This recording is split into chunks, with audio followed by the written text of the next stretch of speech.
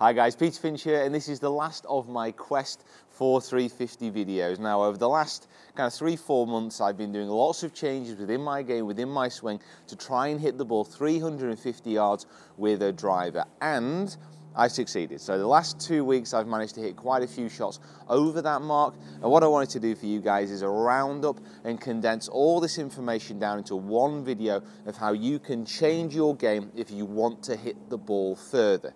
So what I'm going to take you through is everything I've learned, give you that information and you can mine that at will. Try and take different parts of what I've learned to try and implement into your game. So without further ado, let's get going. So step one, you need to make sure that you are physically capable of sustaining the amount of club head speed you need to hit the ball a long way. Now for me, that involved a lot of training. So stretching, strength, it involved changing so much about my physique because I knew the positions that I wanted to get in to try and get the ball that little bit further. So for a lot of people, this is going to mean training, it's going to mean stretching. Now I've done a few fitness videos, I'll throw the links up here as well. But it's certainly something I'm going to be doing more of in the future. But this is something you need to investigate yourself as well. You need to consult your doctor, make sure that you're able to do these changes. Get yourself a personal trainer, tell them about your goals and focus on the muscles that matter. So the core, the legs, the lower half especially is where you draw all your energy and power up from. So step one, make sure you're physically fit and capable and make sure that you are fit enough to perform these swing changes.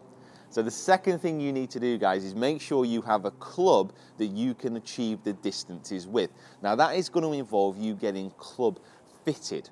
Now what I did, I'm really very lucky that I have a good relationship with many of the manufacturers and they were giving me stuff to try.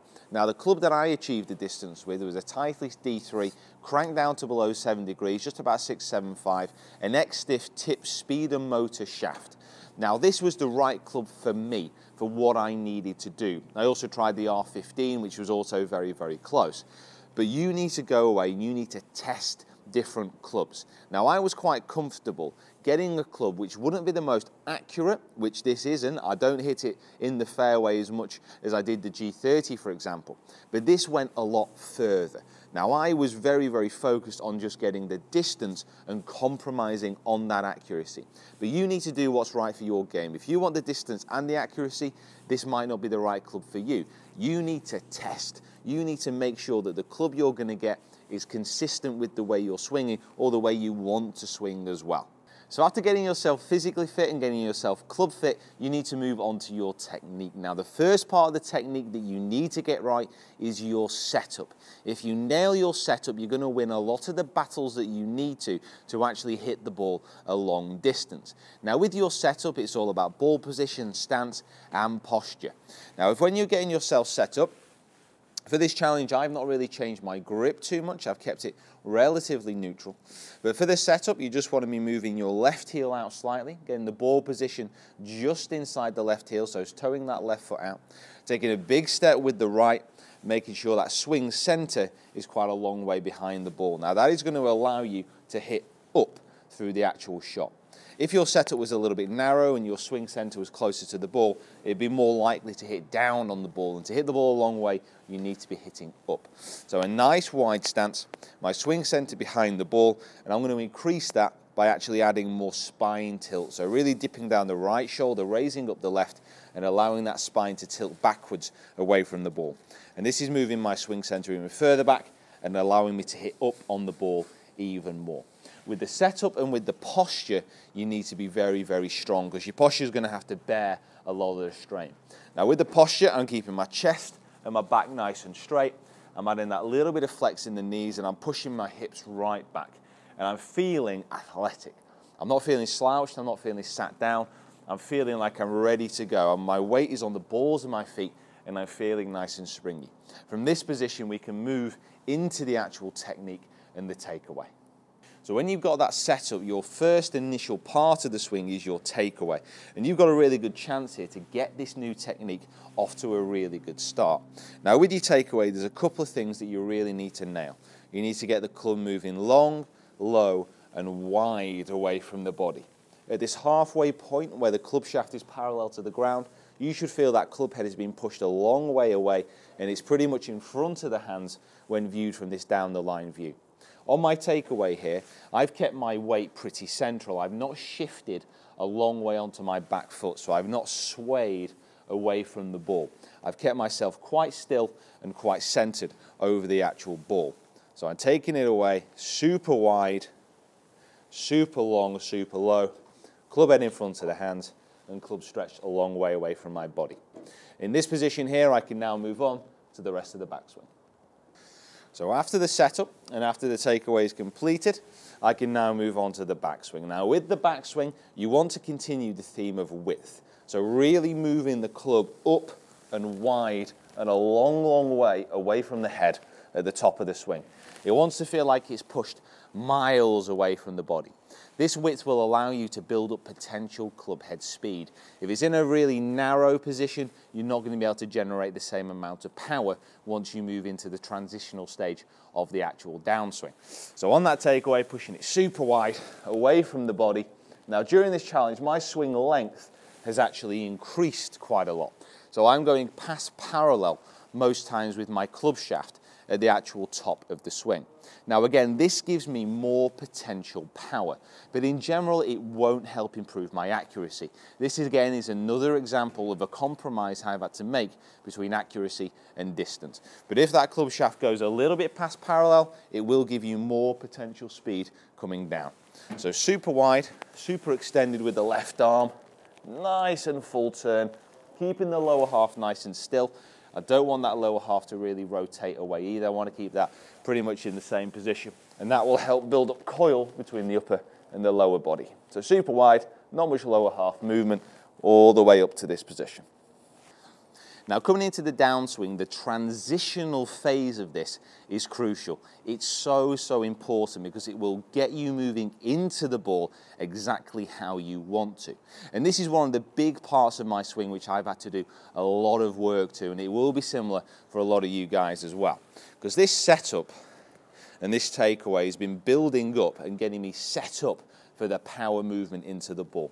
Now I've got to a very wide position with a big full shoulder turn really rotating the body away from the ball, the upper body away from the ball whilst keeping the lower half nice and still. Now moving into the ball, I want to be feeling like my energy and my power is moving down into my left leg and into the ground. Now this is the feeling I've been talking about, about again the squat. So moving into the ball, squatting into my left side before bringing the club really close to the body. Now this movement from a wide full turn into a squat and a narrow position where this club is very much lagged. In here you can see the amount of angle between the shaft and the wrist here, this amount of lag angle. This transition into the downswing will now allow me to move into impact and generate masses of power. So with that setup, wide there, take away long and wide, backswing, full shoulder turn, super wide, and then that transition where I squat down into my left side and really like that club. Obviously, this is a bit of an exaggerated position, but as I squat down and like that club moving into the point of impact. Now, through impact, this is where some of the biggest changes have been made within my swing. So I've come down into impact, squatting down, moving into my left side. Now, from here, I really start to turn and extend the hips upward. Now this is a power movement made by some of the biggest hitters in the world, especially Rory McIlroy, who pound for pound is probably the longest hitter on tour, kind of versus his side against the other kind of big hitting players. Now what he does wonderfully well, and this is what I've been trying to move into my swing, is he squats down, keeps that lag angle moving down from an inside path, before rotating those hips upwards and exploding upwards through the ball as well. That final snap and that final pump upwards of the hips really adds an extra bit of club head speed to the ball. And that is what you need to hit the ball a long way. In the basic sense of the word is lots of club head speed and finding somewhere in the center of the club face. So that squat, that movement in, the extension up of the hips, hitting up and out through the ball. Now from here, I really try and feel like I'm extending moving and turning the body as much as possible. If I've actually got the backswing, the transition, and I've moved into impact correctly, then I can really just rotate, turn, and extend the arms as much as possible down towards the target. And my finish position will be all around my upper body, very much angled away to the left-hand side, my hips turned fully and facing all the way down towards the target. In many respects, the follow-through is inconsequential because all the work that has gone into hitting this ball a long way has already passed. But your through swing can tell you a lot of information about what has gone before. And if I finish in a position where my hips and my body are fully rotated and I'm all the way around into this position, I know that I've rotated and turned fully through that shot.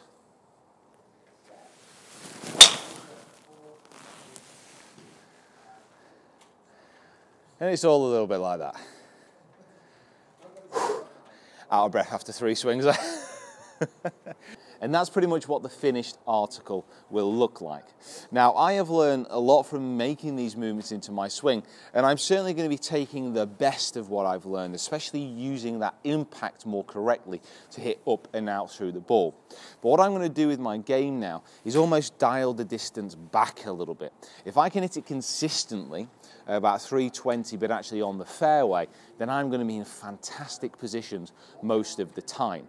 So what I'm going to do now is learn from my actual swing changes, learn from what I've actually been doing in these videos, and try and apply it a little bit more effectively to my game. Because like I said at the very start, I compromise direction when trying to achieve this more distance. So what I'm going to do now is start to dial it back and try and get these two things working together in unison. Now guys, thank you so much for watching these videos and thank you so much for kind of joining me on this quest, leaving your comments, offering so much support. It's been, it's been amazing actually, it's been awesome. And it's been a project which I've really, really enjoyed doing. What I need to do now is figure out my next one. So I want you guys to comment in the box below, give me lots of suggestions, which a lot of you have already done on the previous video. But the more suggestions I get, the better and the more inspiration it will give me. So guys, thank you so, so much for watching. Please subscribe to the channel if you haven't already. Follow me on Facebook, Twitter, and Instagram as well. And I will see you down here next time, and I'll see you down here next time, hopefully, for another new series. Guys, thanks for watching, and I'll see you soon.